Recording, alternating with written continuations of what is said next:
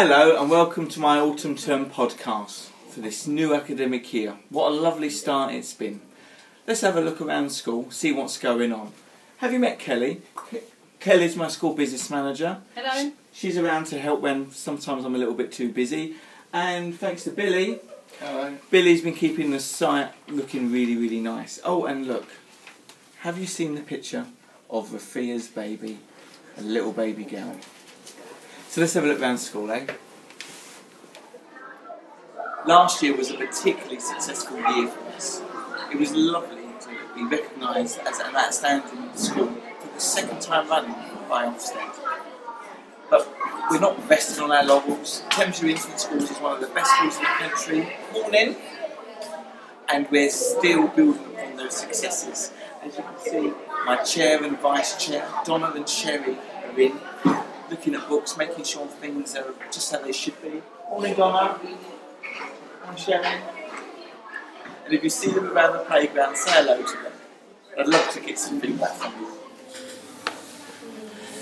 Something I'm really passionate about at Thamesview Infants is our attainment. We want to try our best to help every child and their family achieve their best, and we do. Our children are particularly well prepared for the next stage of their learning. And how do we get six and seven year olds to write like this with a very, very glamorous, prestigious three pen? Well, for me, it's about high quality learning. My teachers are particularly skilled at delivering all the hits all the time. It's listening to your children, talking to them, questioning them, how, why, what, and it's reading. Every child reads every day, and I need you to do this at home, please. Just 10 minutes, 15 at the most, hearing your child read their book. We're hoping for our nursery children, some of them, when they're ready, to end the year on red. By the end of reception, we want some children to aspire to get to green and maybe orange.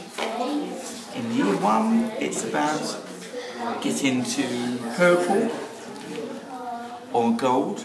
As you get beyond gold, it's about it's less about reading every word and more about developing understanding, insights, what's going on in the text.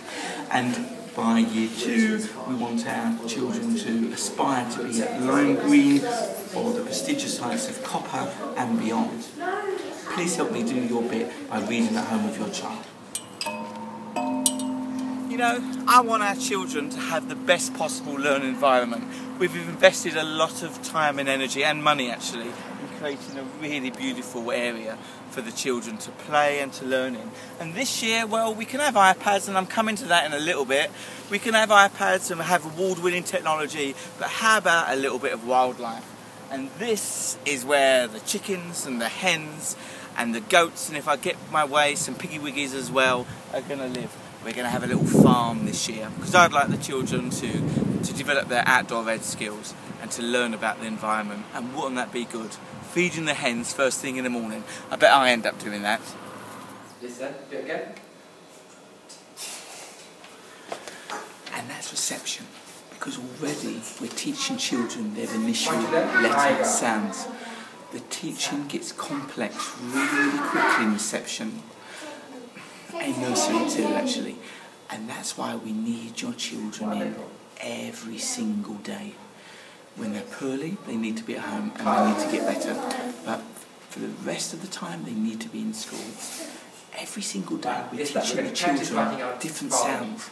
If they miss that, then they've lost that. And we'll help them catch up, but that's never, that's never as good as getting learning, fantastic learning like this. Flip, and then cross. Get your fingers up.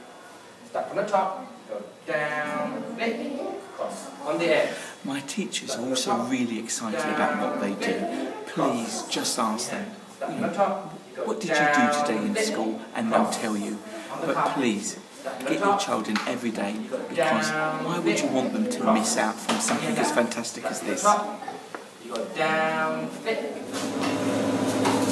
Something I'm really excited about this year is our lunchtime provision. We've got very hard-working, dedicated staff employed by Newham Council who work really, really hard to offer our children a very varied and nutritious and actually delicious um, um, lunchtime dinner and breakfast club too.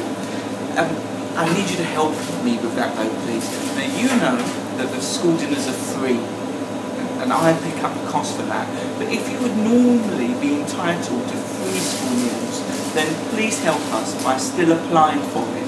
Because if you were normally entitled to free school meals, the school gets some additional funding, something like £1,400 per child for every successful application. So please, I know it's a little bit of paperwork, but please keep on that because it gives us more money to invest in those children to ensure that they achieve as well as any other child. What's for dinner? I really believe in careful relationships between parents and staff. We talk about parents as partners, and I believe that winning combination, that winning formula really, really works. If things do go wrong, they are, are largely always unintentional.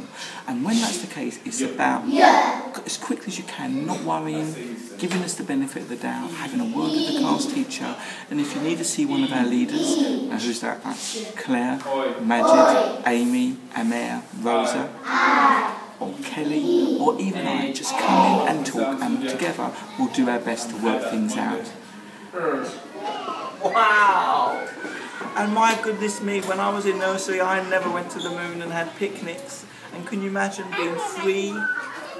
Can you imagine being free, turning four, and having that excitement? That's why nursery, I believe, is the most important year in the whole school. We teach children those pre-learning skills, those self-help skills, those um, personal, social, emotional skills that give children a really, really good foundation. If you get that right, and that's by getting the children in every day and valuing that learning, then they can build upon it in reception, in year one and year two, then my goodness me, they're away. Do you know, everyone is working flat out to do their best and that's the energy and passion that we have at our academy and parents tell us that when they come in they can feel that. For me, my passion is getting into those classes. Then I can feel the atmosphere, I can check out what the quality of learning is like, I can see how well those children are doing, and I can cross-reference the standards in those books. Um, and I t every week I teach one, one and a half days a week. Claire, as you know, she teaches two. But it's, it's, it's very tricky to juggle all of that. You can see that she's in a meeting at the moment. Excuse me, knocking. Claire, can you just wave to the camera, please? Hello. So it's about juggling all of that, and thankfully, Claire, my deputy head, is as passionate about all that as I am. So if you can't see me, you have always got a chance to have a word with Claire.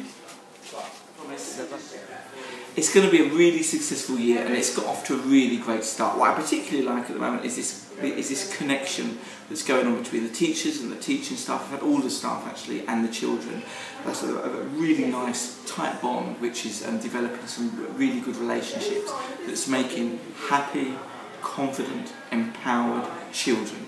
This is a school where children are seen as leaders and, that, and that's a lovely and that's a lovely feeling.